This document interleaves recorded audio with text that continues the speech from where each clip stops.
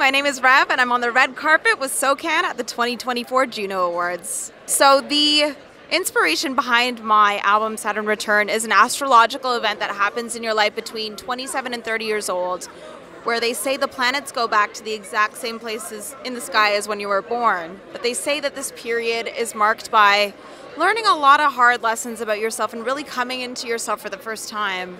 And so this album really followed me through that journey. And my mom is super into astrology. And I was kind of describing, you know, how the songs were sounding and what it took for me to get there and to write about that. And she was like, I think you're in your Saturn return. And I'm like, that, there it is.